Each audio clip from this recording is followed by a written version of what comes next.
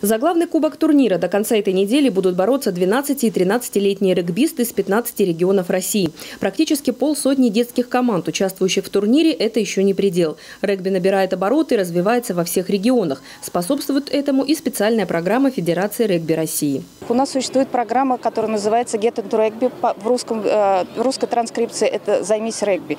А федерация приходит в э, регионы. Я очень надеюсь, что те ребята, которых мы сегодня видим на турнире, пройдут немного лет, и они пополнят наши сборные команды. Важен турнир для развития регби непосредственно в Сочи. Здесь этим видом спорта 100 юных горожан занимаются уже целый год.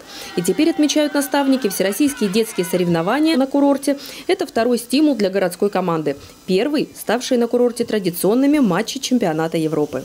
В ноябре э, одна из сильнейших команд России, Енисей, тоже приедет в Сочи, чтобы провести очередной матч по регби. Поэтому, э, уверенно мы говорим, Сочи включился в э, такой прекрасный вид спорта, как регби. Мы его развиваем. Город Сочи – идеальная площадка, конечно же, для развития спорта в целом. Здесь сомнений никаких не возникает, что не последний раз этот кубок здесь проводится. Для самих участников турнира эти соревнования первые в жизни, но страсти на поле кипели нешуточные.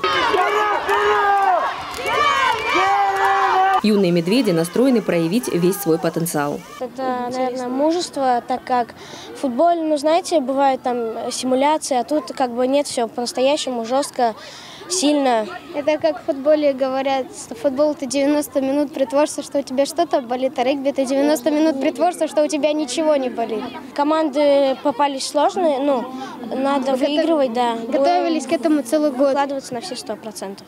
Из регбистов вырастают настоящие мужчины, уверены тренеры, но помимо этого здесь ребята развиваются интеллектуально. Они анализируют и придумывают комбинации. Кому это удастся лучше всех, станет известно 9 октября. Кубок турнира победителю вручат в воскресенье. Галина Моисеева, Инга Габеша, Алексей Давыдов, телекомпания ВКТ.